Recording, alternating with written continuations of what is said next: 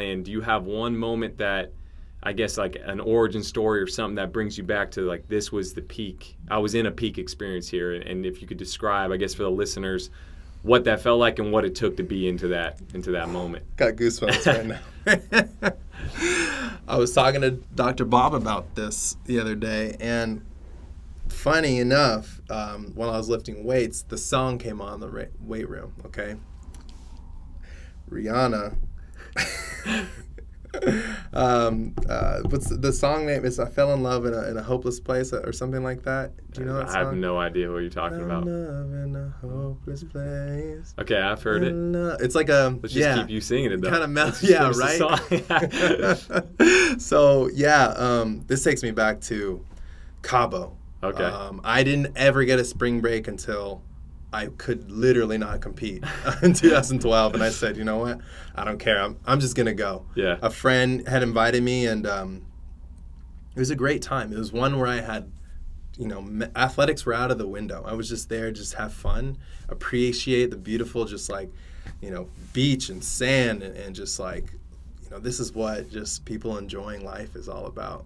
And it was funny because my year back after that having been away from track for so long, I had a heptathlon out in Idaho. I flew out with a new coach, new couple teammates, and uh, we were doing the high jump. And I knew I had a great high jump practice. My PR before was 6'11 and a half. And um, uh, I knew that there were thoughts of there was a meet going on at UW back at UW at the same time, and I know that head coach and other people were like, "We think Jeremy's looking amazingly strong. We think he's looking like he's gonna set like some kind of record. He, we think we might go for the American record in the heptathlon high jump. I don't know. And uh, I knew that was going on, but I got to this meet and there was like there was only like seven people competing. It was so low key, and they had the music playing in the background. And uh, I told my coach, I don't know what made me say it, but I, I told him I was like, Atanas, this high jump, I have a great feeling about. It. I've already walked onto the track. I'm like, I'm gonna do something special here. Don't tell me what the height is whenever we go up to the next bar, I don't want to know what the height is. I just want some coaching cues, but I just need to jump, you know? And the songs that I had heard in Cabo started coming on and no playing way. while I was there, and I was just like, this is it, you know? and with that, I was just like, I'm just, I'm right where I need to be right now. Yeah. I'm enjoying every second of this. I'm having fun.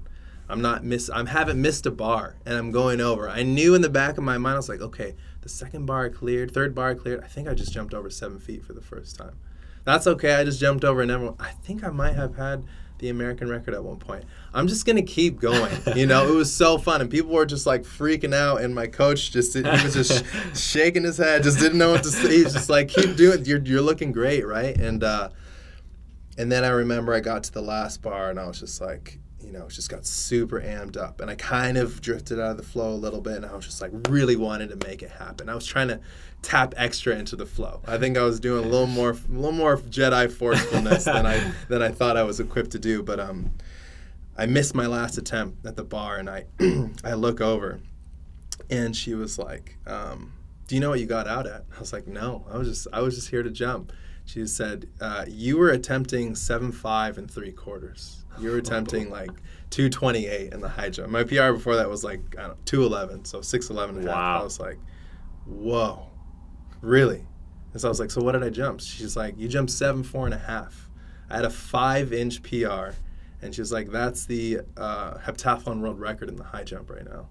Wow. I was like, what? Are you serious? and it was just so, it was just so like, I don't know. It was just like, it shattered my athletic like belief. Like you know what you you you know you're capable of something, and you always aspire to do something, but like when it just happens, Mm-hmm. when you're just like there, not trying to force it to have fun, it just totally reshapes how you approach sport and what you think about it. yeah. That was that moment right there, and uh, you know I was just it was so cool. Went on to have a, you know the rest of a great meet, and uh, that was just the most crazy moment I've had in sports. Why'd you Why'd you tell them not to tell you the the height? Were you just not trying to put a cap on what you felt like yes, you could do consciously? Yes, yes. Dr. Bob and I talked about limiters, Mm. and uh, with that, a lot of athletes who do the high jump will talk about once the bar goes to seven feet, everything about their form, approach, mental, you know, attack just just changes. Yeah. You know, because they're like, oh, this is this is like going under you know four minutes for the mile. This is like you know not ever supposed to be done. So um, I decided to get rid of the limiters. Like if there's no one who can put limits on me, I already have limitless beliefs in what I can achieve.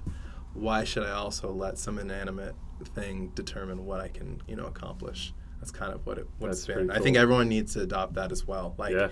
You may have, you know, it's that moment from Pursuit of Happiness when Will Smith's talking Mm. to his kid. Do not even let me tell you what you can and cannot do. Um, I think positive encouragement, positive self encouragement, never putting limits on anything. It's a very, what people would say, unrealistic way to approach things are, but. You know, like they say, you shoot for the moon, you miss, you land on the clouds, you're in the stars. So it's just, it's, it's easy. Just don't, don't limit yourself.